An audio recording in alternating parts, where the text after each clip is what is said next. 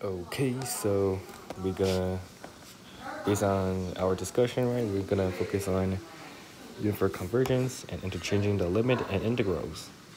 So, so here's a theorem. Alpha be monotonically increasing, and each of the functions they have integrals. Suppose it converges uniformly. The sequence converges uniformly, then the limit function has integral, and also the limit and the integral sign can be interchanged. Beautiful, right? So now we're gonna use this theorem, the supreme one. So we let epsilon n is the supremum of um, fn of x and fx for any x, right? For x between a and b. No we know that this means that fn of x is less than equal to epsilon n plus fx and epsilon n minus fx. No, no, no, no, no, wait, wait, wait. Sorry. fx minus epsilon n. Then here's something important. As each of um whoa, wait, sorry, sorry, sorry. No, no, no. It should be fn, right? We focus on the limit function. So each of them has integral, and this is a constant function which is continuous, which has integral. So they they all have integral, right? Now, this means that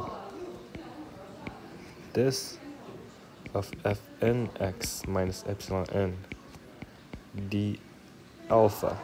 So less than equal to less than equal to the lower integral right of f d alpha and upper integral.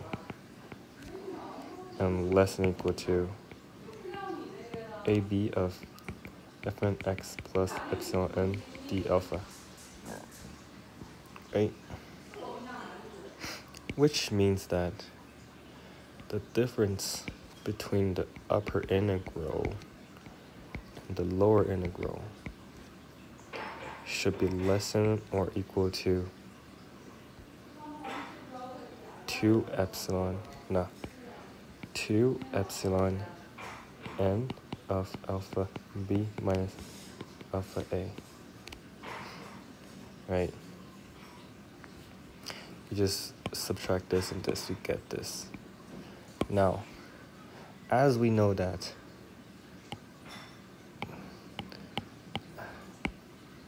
as we know that this is uniform convergence, which means that this is true, right? Which means that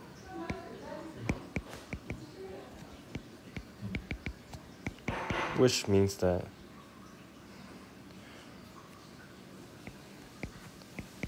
alpha minus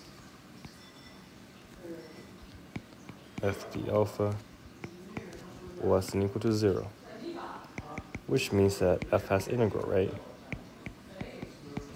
Now, again, again we look at this.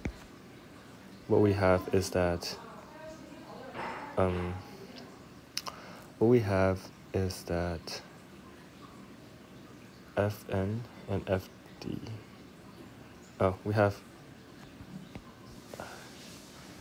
AB of Fn d alpha minus AB of Fd alpha is less than equal to the integral of epsilon n d alpha, right?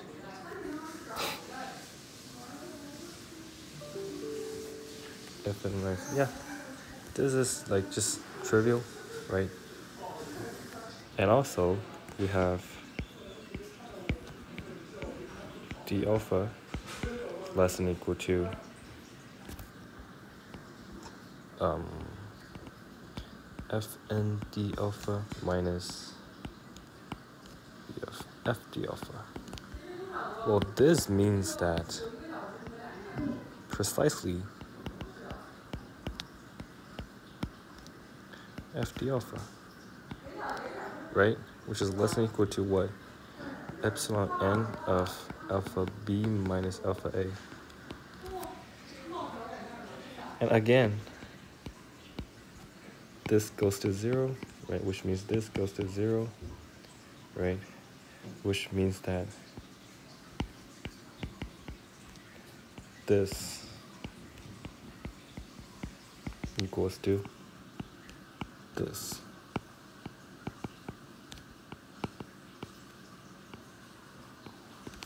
Right? And we're done. And here's an instant corollary. So, the proof is simple. Just think about the infinite sums, right? So, if each has integral and this converges uniformly, then the integral of the series function, which is the series of the integral, you can integrate term by term. So we just let the we just define the partial sum first. N, Fk. So we know that Gn converges to F uniformly. So we know that. So, eh? right? 23. So we know that. We know that. Um, AB of FD alpha is equal to AB of G and D alpha, right? which is limit of a b n uh, i equals to 1 right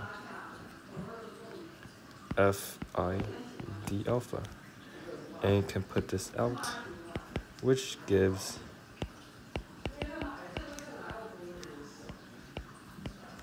f i d alpha right and we're done. Now we're gonna focus on differentiation.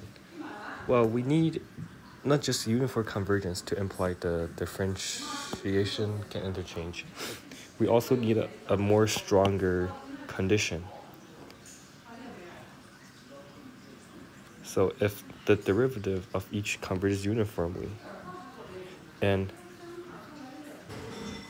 and uh, fn x naught s sum x naught it converges so we only not just the different the, the derivative converges uniformly also sum x naught gives this sequence converges well this gives that the function converges uniformly to a function and the limit can be interchanged all right so we now write the proof.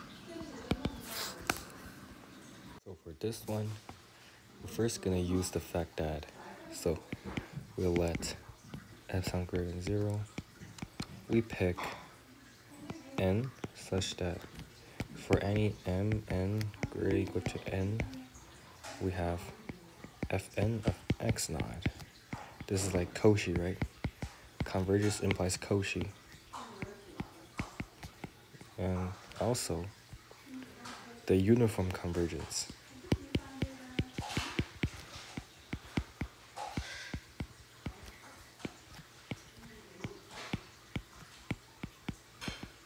For any t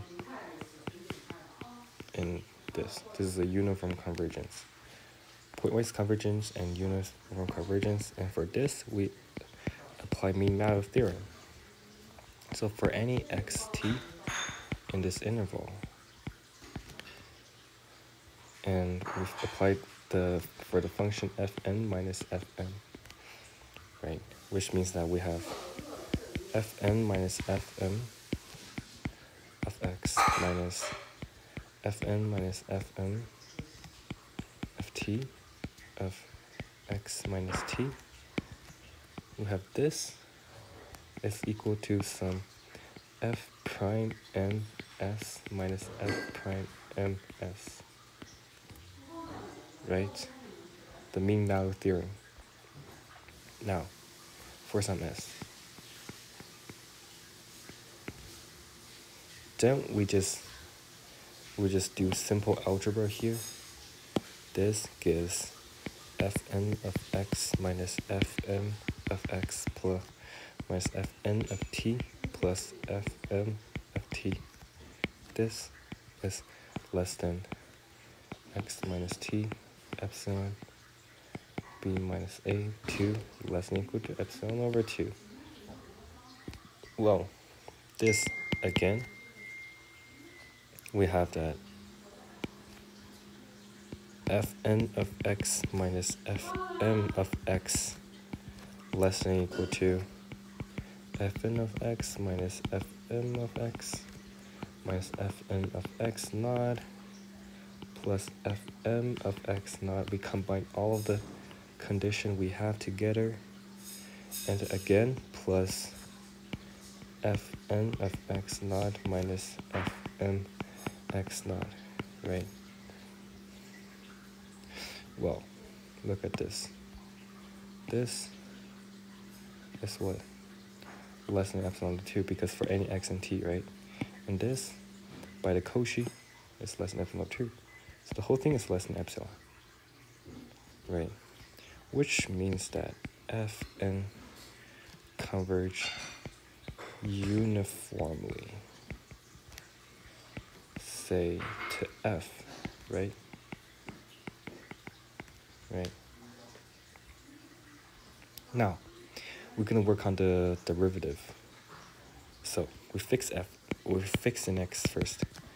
Fix an x and ab, and we let t be some point in the interval but x. We define the sequence of derivative by fn of t minus fn of x t minus x. And this is equal to f of t minus f of x over t minus x. Well, we know that what we have is that this is equal to what?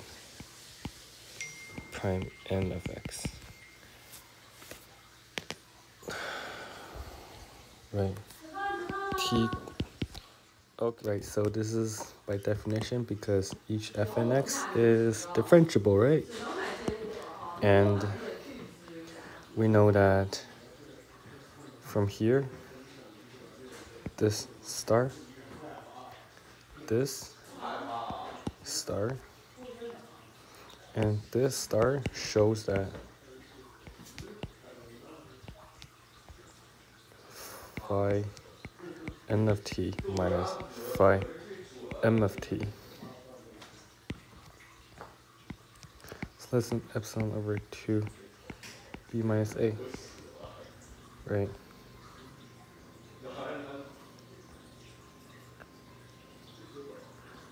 This, yeah. Yeah, we're good.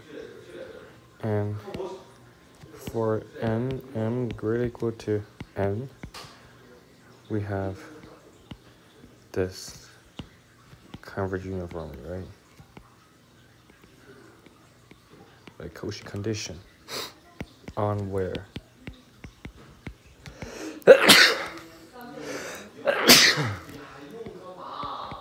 right?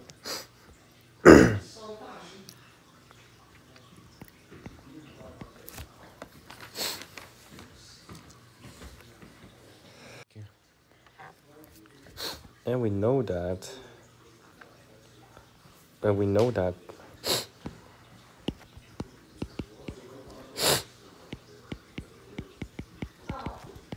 is equal to phi t, right?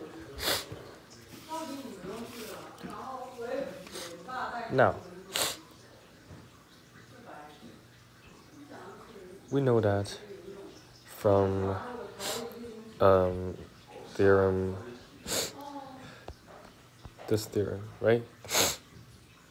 Each of the phi n, each of the phi n has a limit, and we also have the limit of this is equal to the limit of this. Well, if you if you just do some translation, this shows that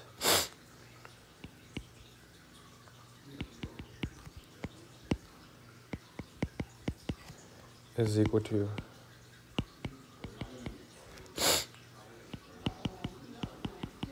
right. So what does this mean? This means that the limit of this is equal to some value which means that the limit exists.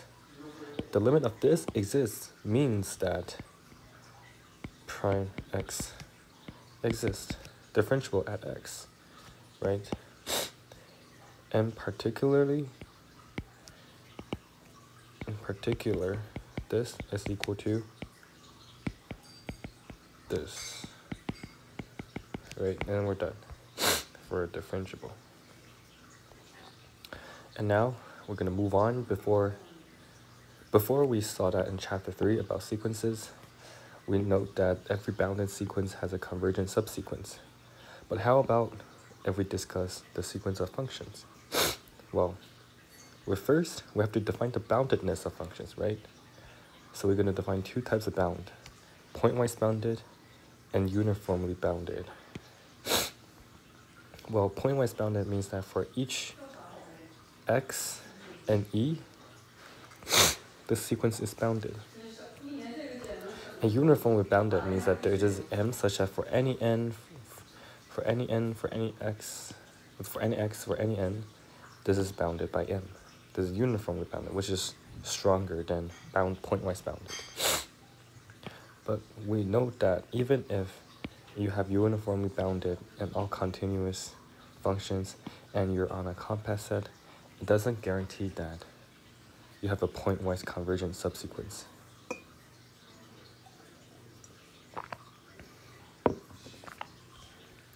But we're going to prove a special case is that if we have a countable subset, then we have a convergent subsequence on this countable subset. Uh, have a convergent pointwise, a convergent subsequence that converges pointwise on this countable subset, right? Well, okay, so we have to prove this a pointwise bounded on a countable set, then you have a convergent subsequence. Well, first, we arrange the points in E in a sequence, and we know that it is pointwise bounded.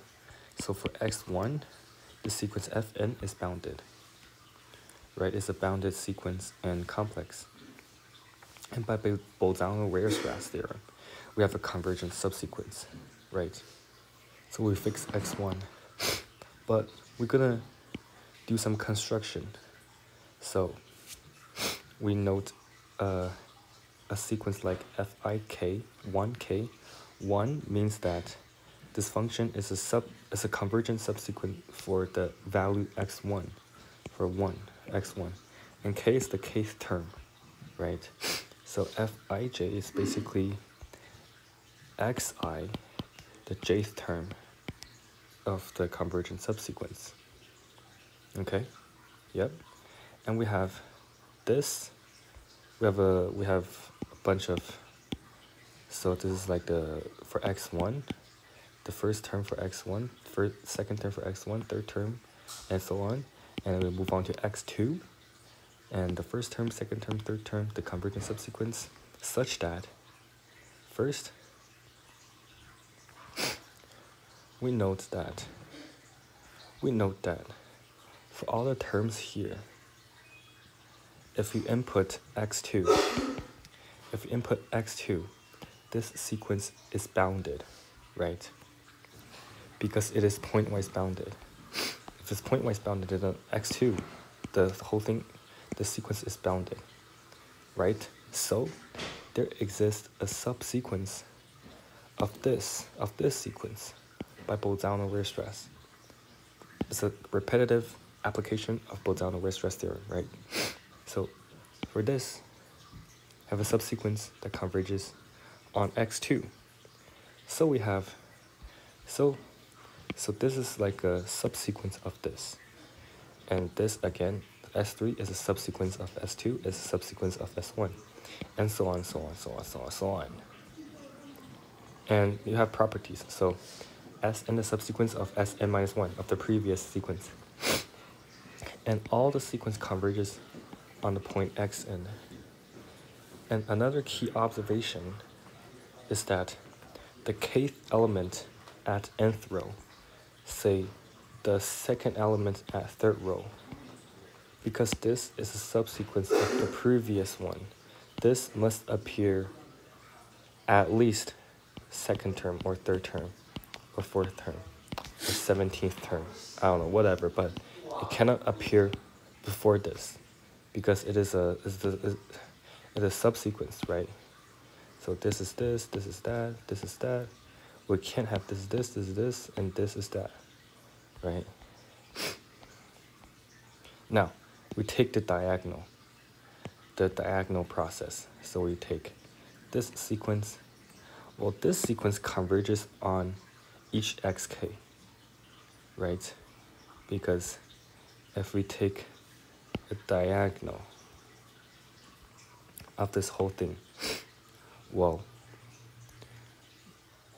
well, this is a term and then this is a term and this, this is also a term and that, right? So this sequence converges on x1. And likewise, this, this, this, they're all in this thing. So this converges on S2 and you move on. So this converges on every countable set and by 1 and 2, right? And it is a subsequence because the index of F22 must be greater than the index of F11. So we have the index of Fnn must be greater than the index of Fn minus 1 n minus 1. This ensures that the index is increasing, which means that it is precisely a subsequence. And the theorem is proven. Now, we have another question. Does convergence sequence has a uniform convergence subsequence? The answer is no. But to get something similar to this, we need to introduce a new concept which is called equicontinuous, which is a family of functions. So it's equicontinuous on E if, if you're given epsilon.